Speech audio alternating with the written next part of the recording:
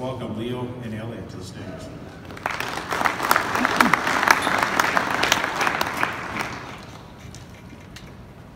Good morning and hello everybody. Thank you for taking time out of your busy schedule to come out here to the Idea Exchange 2018.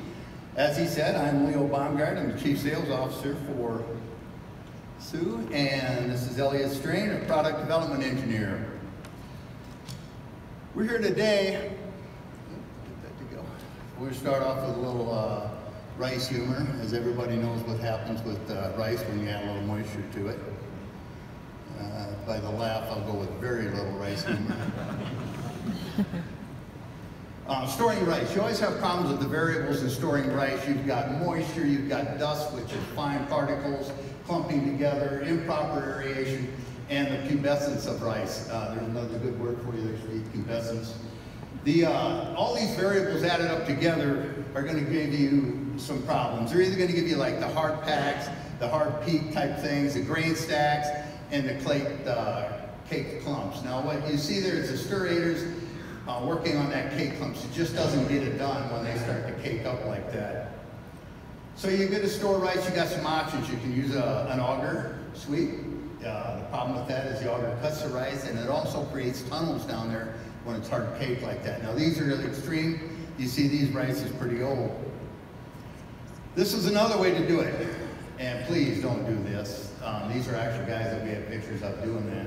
These guys have been down doing this for 10 years. We met with the customer, brought a group of engineers going down there. And when we saw pictures of this and they were describing, oh, I'm sorry, uh, when they were describing their issues and what they had, they showed us these pictures and kind of took them back. I got really concerned for their safety, so. Uh, yeah, yeah we, we don't want you doing this. Uh, what happens is the sweep is going to run up against these hard packs and this hard cake and then it just can't go. So now you got to do something to get it out of there. So what do you do for an option? Well, you use the, the new Air Assist paddle sweep. Now, what that does is it breaks up the crusted difficult areas with, with a blast of air. And it's not just a steady flow of air, it's a blast. And we uh, use a shock wave type thing to uh, break up the, the grain, whether it's rice or whatever you're talking about there. You can see that it's going to reduce the labor. And first of all, it's going to help on the safety. You don't have to have people going into the bin and climbing up on a big pile with long rods trying to break this stuff up. See a little action here? This is uh, a type nozzle or option that we have. It's the uh, agitator. It keeps the grain free flowing so it can keep sweeping. And I think we missed the video. Oh, yeah.